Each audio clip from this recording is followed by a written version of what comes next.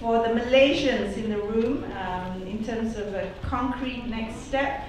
Uh, Dr. Anita and I and Pari were in discussion um, uh, outside with Kimberly, and we hope to bring Kimberly at the end of the year, before the end of the year, to discuss, um, uh, to, to get her assistance in uh, how, and, and Yusra as well, um, and how to design uh, a, a, national HIV self-testing program for Malaysia, and if we, you know, starting off with a feasibility study, etc., etc. So that's um, one concrete follow-up that we will have from here.